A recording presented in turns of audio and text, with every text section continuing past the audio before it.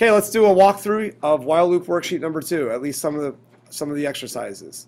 Make sure you read these directions. You have not been taught everything yet in this course that uh, is the Java syntax that you need to know to successfully complete these exercises. Read the directions. Okay, num is uh, initialized to 5. Num is indeed less than 10, so that's true, and we system out print num. So that's pretty easy. A 5 prints out. Then we uh, hit the line of code plus equals 2, so it bumps up to 7. It loops back up to the top, because that's what loop, while loops do, and it is still less than 10, so we print num again. Well, num is now 7.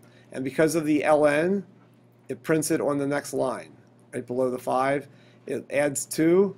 9 is indeed less than 10, so we print the 9, and we add 2, and but 11 is not less than 10. At that moment, the control expression is false. We don't execute the loop anymore, and we are finished with the code segment.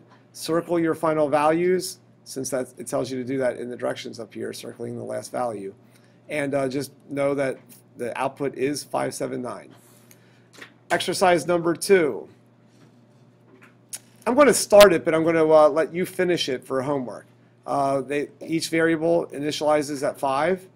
The control expression where the, the double ampersand means and um, the control expression is overall true. So we do indeed system out print num with a hyphen. So 5 hyphen.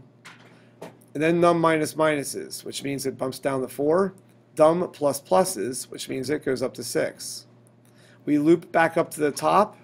We inspect the control expression. It is indeed still true, because when you have a true and with a true, overall it's true. So we system out print, not print ln, print num plus hyphen. And that plus means concatenation, just like it did in Visual Basic.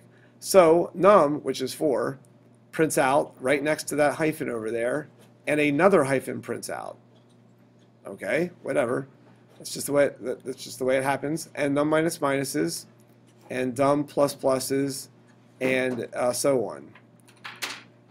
I'm not going to finish the rest of this problem, but what I should do is I'm going to circle these as my final answers. And anybody who uh, looks at the end of this video to try to copy the answers without listening to the oral audio track here, they're going to get one wrong. Because this loop still goes around. Uh, period 1 Java is laughing right now because they know the period 4 students uh, probably won't have the patience to watch and listen to this video, so they'll have one wrong. Okay, moving on and that person in Kansas that's probably watching the, go fast forwards to the end of this video will get it wrong because they don't listen to everything I say in the video. Okay, number three.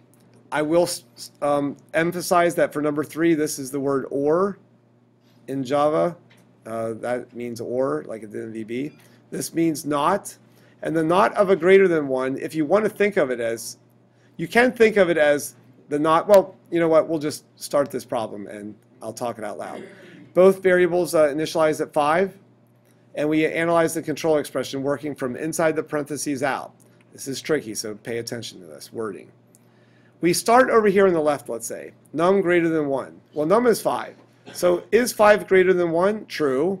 But when you not the true, that the not of a true is a false. So all this over here simplifies to a, an f. And that's being ORed with whatever this is. Is dum greater than or equal to 8? Uh, no, it's not. 5 not greater than or equal to 8. So that inside there is a false, but when you not it with that exclamation mark, the not of a false is a true, just like it did in Visual Basic last year. So overall, when you have a while loop that says false or true, according to the truth table that you still have memorized from last year, or you just know that when you don't eat your asparagus, but you do eat your broccoli, and the easy parent allows you to have dessert if you just eat one or the other, you do get dessert. Overall, it is true. So overall, this whole control expression is a big fat T, and we do therefore go through the while loop this first iteration. Wow, that was a mouthful. All that just to analyze one iteration through the while loop. We system out print num plus dum, but that's got a set of parentheses there. And even if it didn't have a set of parentheses, this plus here is mathematical addition. And dum plus num is 10. And then we are we have a situation where we have a 10 plus hyphen, because that's what this would simplify to, this system out print statement. Well, Visual Basic, uh, not Visual Basic, Java will concatenate, and the digits 1, 0 with a hyphen displays. Because of uh, the way all of this evaluates inside the system out print. Now we uh, execute the line of code num equals num minus 1. Well, we always work from the right-hand side, and num is currently 5. A 5 minus a 1 is a 4. That 4 gets assigned into the variable num, crossing that 5 out, making it a 4 to be careful here. I don't do this stuff in my head. I always, I always make columns like this. On AP exam multiple choice questions especially. Then we execute the line of code dum plus equals 1. Now what dummy chose to write this assignment statement out the long-handed way, but then used the shortcut op compound operator plus equals on this line of code. That's inconsistent. You know, he could have rewrote this as dum equals dum plus 1, because that's what it means. And this line up here could have been re rewritten as num minus equals 1. So I'm just saying, it's kind of poor code, poor style. Well, anyway, what happens here with dum equals dum minus 1? Dum is currently 5. The 5 plugs in for dum on the right-hand side. 5 minus 1 is 4, and that 4 gets assigned into the variable dum. So dum is now down to 4. Gee whiz, all of that work just for one darn loop iteration, and now I have to go back up to the top and do it all again. And again and again and again, possibly. And again and again and again. I'm really going to throw people off. I'm going to circle these as my final answers and let people think that uh, this is the final answer here if they fast forward to the end of this video. Okay, I don't have much time left in this particular class period, so I'm going to rush it a little bit. Uh, num is 0 in number 4. That is true, so it system out prints 0. It goes back up to the top of the loop. Num is 0. Okay, it prints a 0 right next to that because the print, and it never ends. That's an infinite loop. There's no plus plus, you see. So num has no chance of ever hitting 1. And it, don't cross this out. Don't do this. That's wrong because num was only set equal to zero one time. So you know, I'm, I'm going to circle this as the final answer and show this whole trace. That's also wrong for anybody listening to this video. That's the wrong way to have done it. You should just have one simple 0 like I had before. Okay, number five, starting you out real quickly, uh, 1 and 0 here.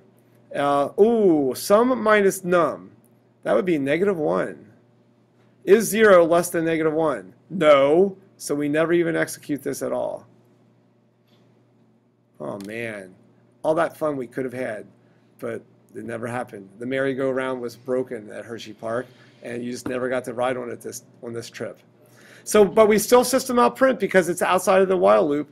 So it system out prints this 0 with a comma and a space, because I, I, do have a space embedded there, and then num.